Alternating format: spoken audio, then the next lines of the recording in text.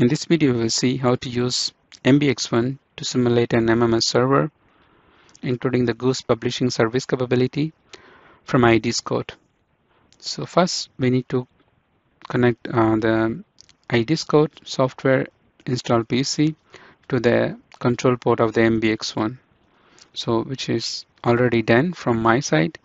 So the testing PC having the connection to the control port 1 and as in an IP address which is in the similar range for my testing PC network adapter because I'm using the static IP address but the device is also having inbuilt support for the DHCP protocol and we can able to even set uh, the first option in case if you would like to assign the automatic IP address that are available in the network.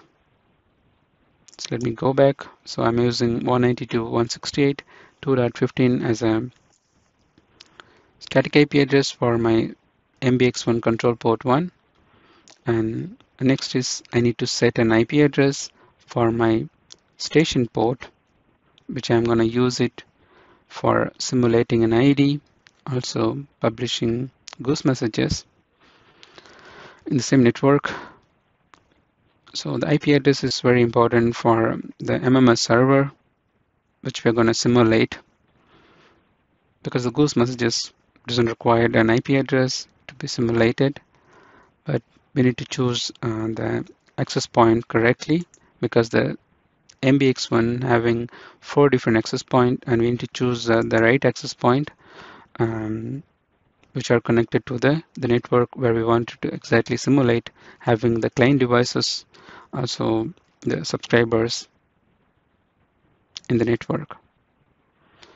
So I have 192.168.210.197 as an IP address because the other ID is also in the same IP address segment and I'm going to use it um, for the goose messages for publishing also for sniffing the network in the same adapter. And we can also able to flexibly manage the different access point depending on the requirement. So let's say okay here then we can able to go to the simulator section or we can even able to select the simulate ID option and we can able to just export the ID which you want to simulate. So in that case I will use uh, one of the ID from um, ABB from PCM 600 which I have created as offline ID and this particular ID is not available in network and this particular ID is available in my network as real ID and I can able to quickly show you by opening the application configuration and going online. I can able to just explain you that I'm already configured to subscribe the goose messages from the ID which is not available in the network now. So this is a goose interlock receive function block at the real ID I selected the function block and go online to show you this ID is not available in the network.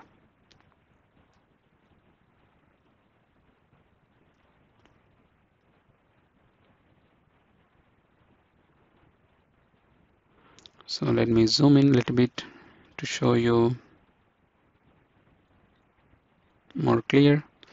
So this is ID um, which we're gonna simulate now um, and we can able to see the validity of this particular function block at the right side down. Uh, it's zero that means um, it's not available in the network.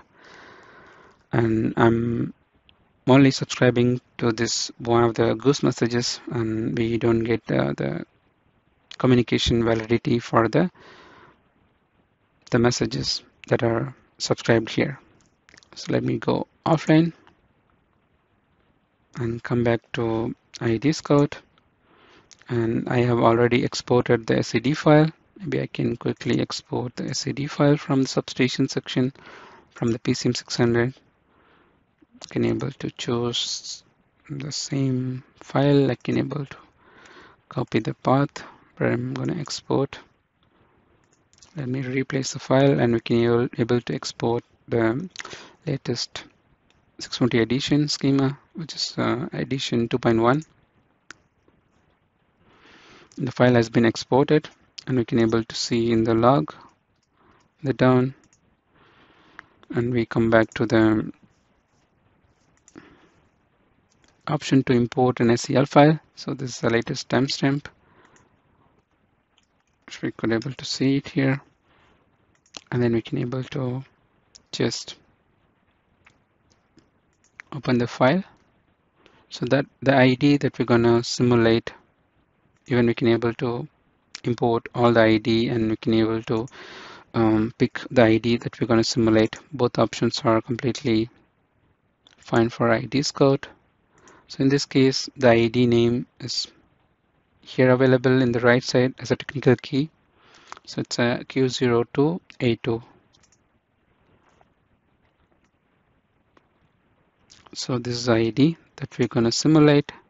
Let's pick this particular ID and the ID content will be loaded to the simulator section of the IEDScout.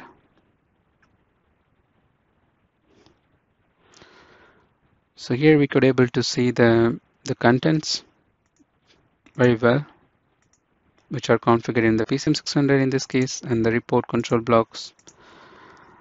And we can able to even explore this more in detail by, by enabling the description about the data model and the data sets for the different um, communications related to reports, goose, and some value for the data sets. Then our point is here to simulate an ID. So we just need to start option here and we can able to see here there is an IP address which is available in the configured ID from the PCM600 here. And the IP address is 192.168.210.161 and this should be um, in the same range for the station port of the the MBX1 and it should be different than the station um, port IP address also the control port IP address should be in a different range than the IP subnet of the IP addresses that we assign to the station ports. As long as the ID that we're going to simulate from IEDScout in the same range that we assign to the station ports, we are comfortable to simulate without any problem. So by default, we also enable the goose simulation bit um, to make sure that doesn't cause any problem and we are simulating an ID in a real environment. If it is test environment, we can able to uncheck it, which we can also able to do it very well here and later on. So let's start simulating. So I'm using 102 port as well for simulating an ID. So the ID has been simulated without any problem. We can able to see in, in the information in the output window. So the ID started simulating simulating successfully without any problem and uh, the 102 port. Let's go back to the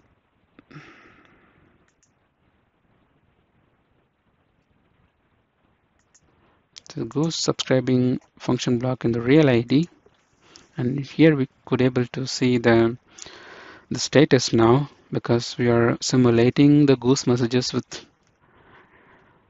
simulation flag enable the test bit enable from IEDScout and we should be able to see the the goose messages here as well.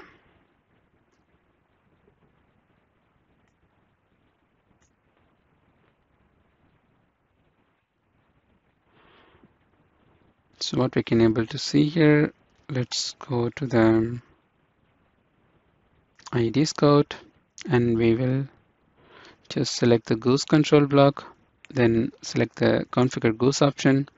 There we can able to stop the goose messages and then uncheck the simulation and test flag. Then start publishing now. And we come back here and we could able to see now the communication validity is one that means we have the real goose um, publisher from the simulated um, ID from the IEDScout and the real ID is able to subscribe the messages. Now we could able to see the open status. So, so we'll go back to the IEDScout and then let's try to close the circuit breaker position from this level and update. Come back to the real ID as a Goose subscriber. Here I could able to see the simulated ID position is updating correctly, which is um, the position status here.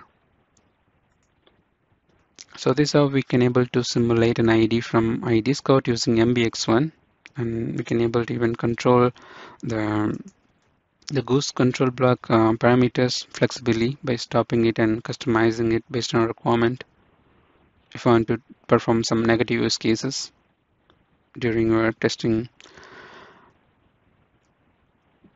activities. So we have simulated an ID from the testing PC and I have another um, PC connected to the network as a client. So let me take that particular PC in a remote desktop connection. Let me open the IEDScout software application from this particular PC and we'll try to establish the connection and try to associate the simulated ID. So I will discover the ID and the IP address is 161 that we have simulated. So let me discover the ID object. And here we could able to see, we could able to successfully discover the ID that we have simulated from the other PC. And here we are using IEDScout as a client application. So let me even enable the report control block to make sure the device is even able to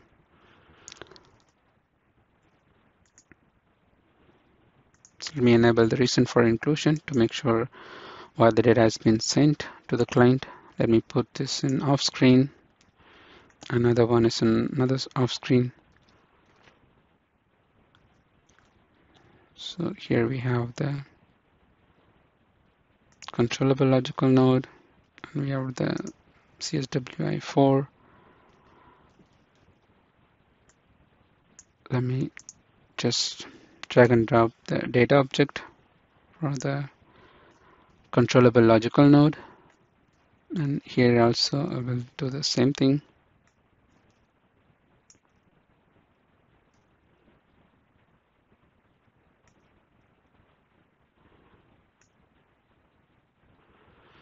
So from the the left side we have the client application as an IEDScout and we have even can enable the sniffer for the enable report. So let me stop the goose monitoring. We'll only focus on the, the report. Let me try to select the controllable uh, logical node and we could able to even see the the control model which is a select before operate with enhanced security. Let me select the control option on the left side and I will try to change the position from open to close. Select and operate and we can able to see in the right side. So simulated device also receiving the, the control command so which is uh, close status. Now and we can able to even see the simulated device able to send the the report to the client device and what exactly we did. And we can able to see the trigger option why the data has been uh, sent from the simulated device to the client. So basically the data change happened in the report control block. So we can able to see we have selected the position, the selected data attribute has been changed in the first instance of the, the report that has been sent from the server that we have simulated. And second thing is we basically change the position and the third change was about uh, the select has been false. So these are the data change. Uh, that's why the report has been sent from the simulated server to the discovered client. And to make sure another case, we are using um, MBX1 to simulate an ID and there are some services that are running on my PC that I'm using IEDScout with MBX1 occupied the, the 102 port with different um, applications on my testing PC so that doesn't cause any problem to simulate an MMS server on 102 port. So to make sure we'll open the task manager and to see how we can able to get to know the 102 port. Let's go to the performance. And then we open the open resource monitor. So there we can able to see the different services.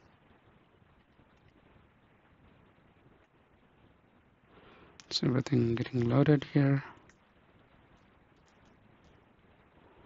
So in the down we can able to see the listening port on the right side. So there is a service which is already occupied uh, the 102 port for the TCP protocol and which is uh, the service from Siemens um, help services. We can even um, able to use uh, MBX1 to simulate an MMS server on the 102 port on top of it with the MBX1. So the MBX1 uh, could able to um, override because uh, the hardware is completely different and we could able to um, completely perform the simulation on 102 port having an MBX1 with us. So that's all for now. In case if you need more information or face any difficulties using MBX1 to simulate or to simulate in any different manufacturer ID, those are having the 650s, MMS server support or the Goose publishing subscribing support, you can feel free to contact Omicron technical support. That's available from the Omicron webpage. So you can able to just go here and then select the support option. There we have a technical support. Based on the location, you can able to pick the, the right regional support line from here and then you can able to write your request and we'll be happy to support you to fix your problems with the right solution. Thank you. Take care. Bye.